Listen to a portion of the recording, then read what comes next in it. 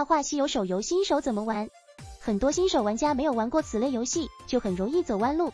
这里就给大家带来几条老玩家给新手玩家的几条建议，看完相信也能让萌新玩家对游戏有不少了解。其实想要快速升级，拿到游戏内资源道具，玩家可以在 A A 三 D 点 C N 上玩不氪金版，直接可以无限资源、无限礼包。一野外捕捉的宝宝没有满出值的，都得通过金柳露重洗。较人性化的是，你若一时洗不出好的初值成长，也可以先练级，日后有金柳露了继续洗，不会变回零级。二金柳露可以通过宝图挖到了。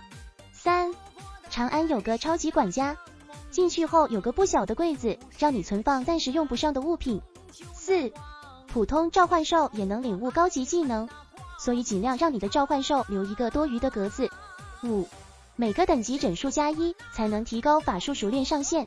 如四十一、五十一、六十一、六，每天实在没时间玩的朋友，也尽量上线，把这些不占用多少时间、经验又多的任务做了。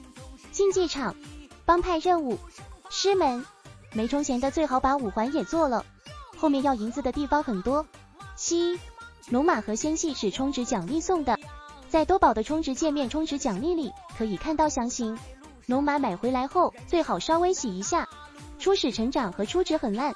八，仙气打满十个宝石后，外观会闪一点，属性提升相比六七级的不算很大，酌情考虑。我是打到七。九，普通装备升级的盘古金铁，目前可通过大雁塔积分、每日签到、周末活动、水陆大会获得。十，长安药店可以买到自动回血法的瓶子。